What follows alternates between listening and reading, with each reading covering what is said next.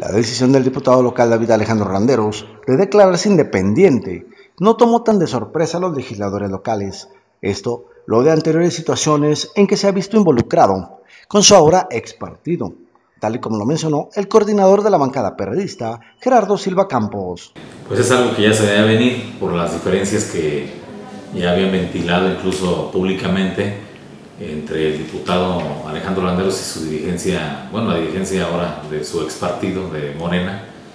Eh, ya todos sabíamos que esto iba a suceder, iba a salir expulsado de su partido o bien él iba a renunciar tomó la segunda alternativa en vez de esperar un veredicto del comité de su partido.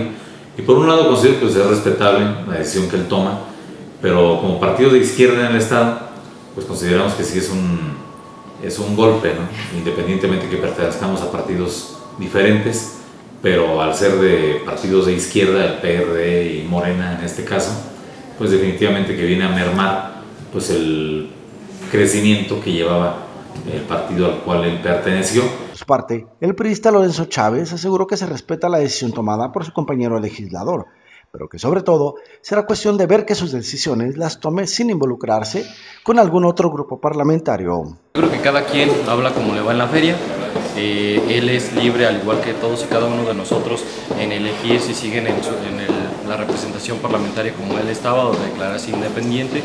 Yo aplaudo el valor de hacerlo, entonces Espero que este sea un, principio, como él lo comentaba, y de que se tomen decisiones independientemente y no en algún otro grupo parlamentario. En cuanto a los panistas, el diputado Guillermo Aguirre mencionó que aplauden y felicitan la decisión de Landeros al tomar dicha decisión, pero sobre todo dijo el aceptar que Morena no es la esperanza para los guanajuatenses. Él mismo nos dice que pues se lleva un gran, una gran decepción y se lleva un, una, pues un, fracaso dentro de estas filas.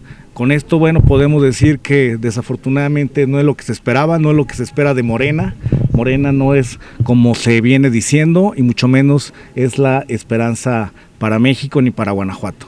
Espacio Guanajuato TV con imágenes de Víctor Torres, Ramón Caballero.